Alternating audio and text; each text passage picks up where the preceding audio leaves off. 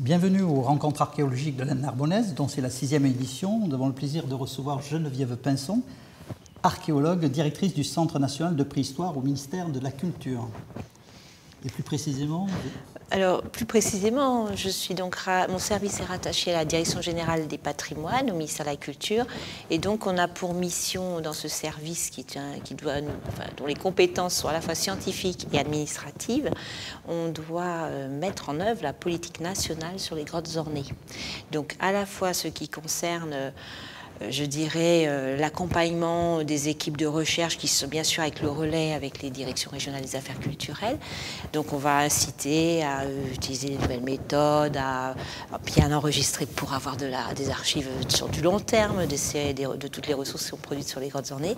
On accompagne évidemment les, projets d'envergure comme Chauvet, les copies de Chauvet, Lascaux, etc., avec les collectivités territoriales.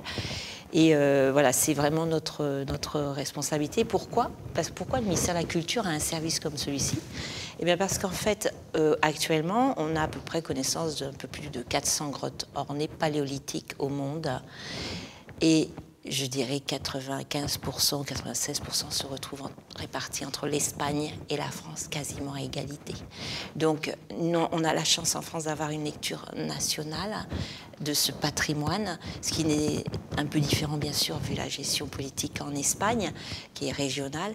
Mais du coup, la France souhaite valoriser ça et c'est comme ça qu'elle elle en fait vraiment, je dirais, une, image forte, euh, à la fois d'un point de vue des sites des sites euh, emblématiques comme Lascaux, hein, qui euh, chacun connaît, ou qui se situe dans le monde, et euh, en même temps avoir une, une, du coup, vraiment mieux gérer. L'idée, c'est de mieux gérer tout ce potentiel. Et on voit qu'il y a un tel demande du public et un tel succès auprès du public suite, ben, ne serait-ce qu'aux ouvertures de copies.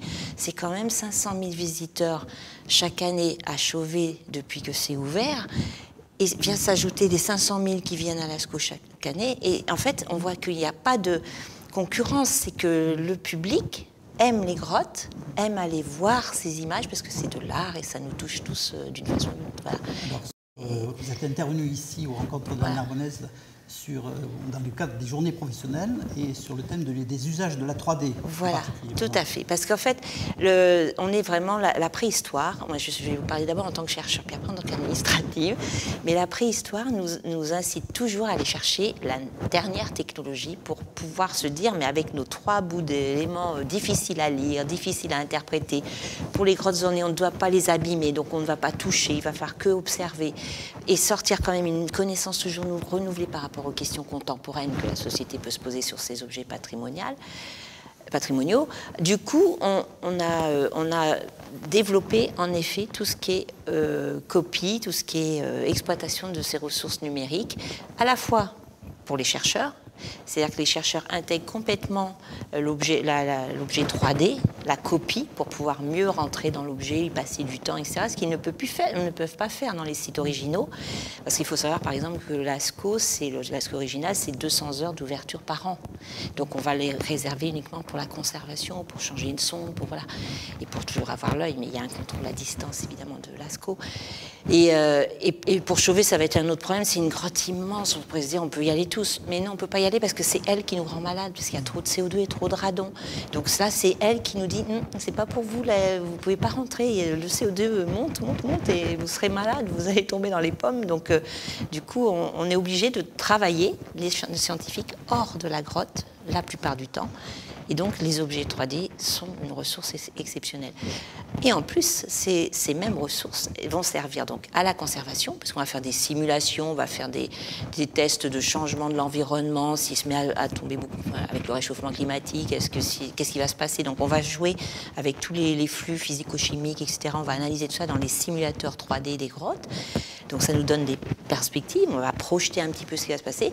Et le troisième usage, c'est bien sûr pour la médiation, pour que ce soit des patrimoines partagés avec chacun des citoyens. pour partager, il faut utiliser, donc ça pose la question fondamentale des, droits, en fait. Euh, Tout à fait. Alors, des, données numériques. Des données numériques. Alors, on connaît les problèmes de droit sur les images photos, mais là, il y a la part de l'auteur, il y a la part de la création. Pour la, la réalisation d'un clone 3D, comme on recherche véritablement euh, une proximité avec l'original, l'invention va être dans la technologie, dans le savoir-faire de la prise en compte de la technologie, mais le résultat, comme ça doit être l'équivalent, on peut se dire, bon ben, où sont les droits là? Et c'est toute la question. Et c'est tellement la question que euh, on s'aperçoit qu'il y a peut-être peut-être un vide juridique pour les modèles 3D patrimoniaux. C'est-à-dire que quand, par exemple, une grotte on n'y a plus accès. Soit elle disparaît parce que les contextes climatiques, les contextes euh, géologiques, je pense à Cosquier qui est très menacé quotidiennement, où l'eau de la, mer monte constamment. Elle est, donc en partie immergée, elle est inaccessible, bon, sauf si vous savez plonger, vous avez toutes les compétences pour plonger à moins de 40 mètres de profondeur, et que si vous savez faire de la spéléo dans un couloir inondé, dans un... Euh, voilà, ça il y en a quelques-uns, des, perles comme ça qui peuvent le faire. Mais du coup, c'est pas accessible et, on est bien obligé d'imaginer d'avoir un clone de ce site, comme de Lascaux, puisqu'on ne peut pas le montrer. Et du coup, quel est le positionnement de ce clone? Ça devient l'objet patrimonial, quasiment source, quasiment bah, plus ce qui nous reste. Donc, le statut même de l'objet 3D change. Et c'est là-dessus que les juristes actuellement travaillent. Et au Centre national de préhistoire, nous coordonnons une réflexion euh, sur ces questions-là. Et pour aboutir, peut-être, les juristes ne nous le diront pas, est-ce que ça génère un droit particulier ou pas? C'est la question.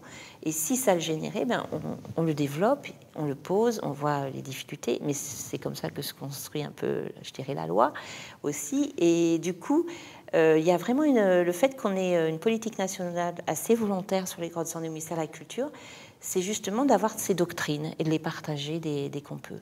En même temps, il faut pouvoir, on est dans, dans le monde du numérique et de l'open data. Donc on mm. peut aussi se poser la question, euh, qu'est-ce que l'on remet? À qui on le soumet, à qui on le, met à disposition. Et ce qui est vraiment très important pour permettre ça, c'est que quand on produit une donnée numérique, que l'on soit un chercheur, que l'on soit une société privée, que l'on soit un service de l'État, qui que nous soyons, il faut documenter ce que cet objet numérique.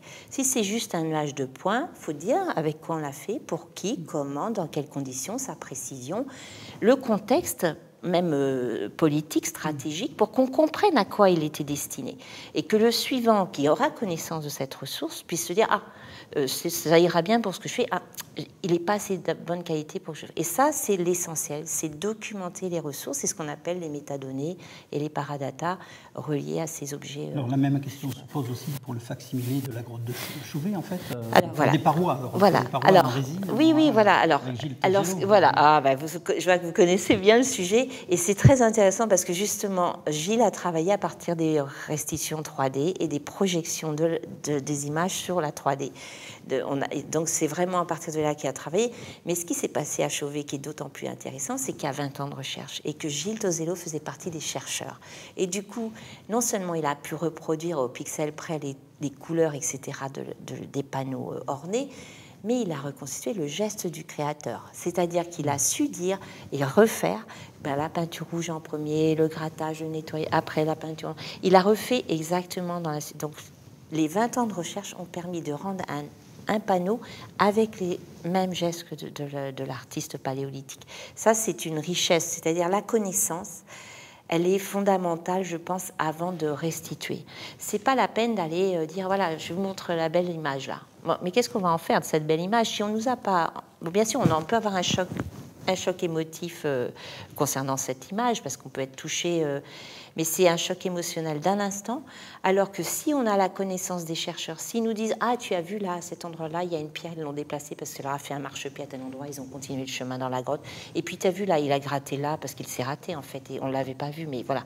Tout ça, c'est des détails qui nous humanisent complètement les parois et l'art pariétal. Et là, on y est complètement, c'est-à-dire qu'on est avec les, hommes que nous sommes, mais d'une autre époque.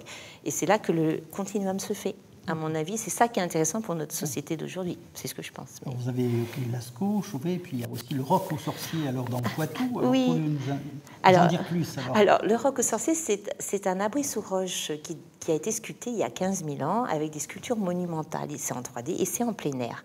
C'est aussi abrité, mais là, c'est la, recherche a vraiment d'emblée eu besoin des, relevés 3D parce que nous avons fait des travaux avec, en manipulant les, les sculptures en les détachant de la paroi, en les, manipulant, en les comparant. Et on s'est aperçu que, en fait, par exemple, pour le panneau des bouquetins, qui a un vrai troupeau, il y a toute la harde de sujets mâles, et il y a la chevrée en dessous avec les femelles et les petits.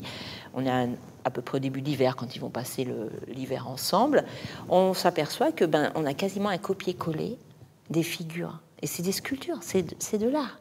Donc l'informatique nous montre, nous démontre la proximité des œuvres. Donc on se pose la question de l'artiste, est-il seul ou au moins est-elle seule à finir les œuvres? Et on l'a comparé cette frise à une frise qui se trouve à côté d'Angoulême, à 180 km, qui s'appelle la chaire à Calvin, qui est de la même période. Et il s'avère que les sujets bouquetins fusionnent complètement. On a des sujets dans la même dimension, dans les mêmes attitudes, les mêmes euh, épaisseurs, mais on est dans des calcaires différents. Le calcaire de la chair à Calvin est un peu plus dur que celui du roc sorcier.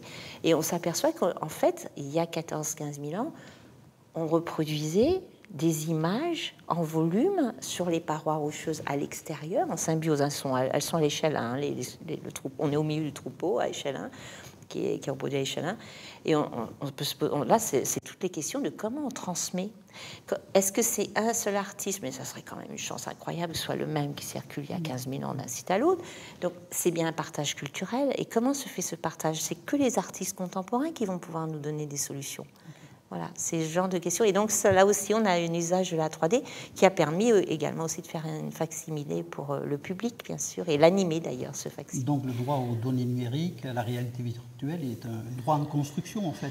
Exact, c'est exactement ça. Et, la, et euh, Au niveau international, par exemple, est-ce qu'il y a une unité d'approche ou comme par exemple le droit d'auteur, on sait qu'il y a le copyright aussi de l'autre côté. C'est hein. en construction. C'est vraiment en construction et on voit des programmes de recherche sur ces questions de 3D parce qu'on est vraiment, on, avance, en, on fait en, avançant au fur et à mesure et c'est véritablement en construction.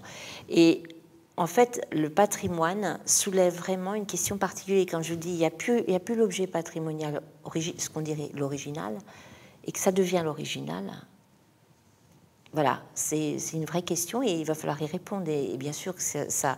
Alors nous, on est, soumis bien sûr à une, entente européenne pour commencer. Donc déjà, ce sera un beau travail à l'échelle européenne. Et, il y a des groupes de travail euh, de, cette nature-là. Bien sûr, c'est des groupes de recherche aujourd'hui. Et pour le premier artiste, l'artiste il y a 30 000 ans, donc c'est fini. Pas de droit d'auteur pour lui alors il ne signait pas en fait. Mais non, il signait pas, mais quand même, c'était quelqu'un de parmi nous et, ça devait être l'artiste, parce qu'on n'est pas tous artistes. Et celui qui descendait dans les fonds des grottes, c'était quand même celui qui savait peindre. Moi, moi je ne suis pas artiste, je, je, suis très sensible aux œuvres d'art, mais je n'ai pas le talent. Je vais pouvoir copier, mais je ne vais pas pouvoir créer. Et, et c'est clair que à l'époque, c'était pareil. Et justement, ça pose le statut de l'artiste dans ces sociétés à ce moment-là, parce qu'en fait, il avait un rôle certainement essentiel. Et ce qui est intéressant en Rocco Sorcier, justement, c'est qu'il y a un personnage qui est dessiné de profil, et les figures humaines sont très rares sont très rares et là elles sont représentées et on peut se poser la question comment se fait-il que dans un groupe préhistorique où en général c'est l'effet de groupe qui l'emporte au-dessus de l'individu, Là, on a reconnu des individus, puisqu'il y a plusieurs figures humaines. Il y a du bébé au vieillard, euh, avec la grotte de la Marche aussi, qui est à proximité, à 40 km. C'est les mêmes périodes et les mêmes euh, types de représentations de figuration humaine qui sont très rares hein, dans l'art paléolithique. Eh ben, là, reconstruire, c'est qu'on sait reconnaître les qualités des uns et des autres. Il y a le spécialiste du taille de silex, il y a le spécialiste de, la, de la chasse, et le spécialiste des peintures, des gravures, sculptures. Très bien. Merci Geneviève Pinson d'être venue nous porter votre expertise et votre témoignage aux rencontres archéologiques de la Narbonnaise. Merci beaucoup à vous. Merci.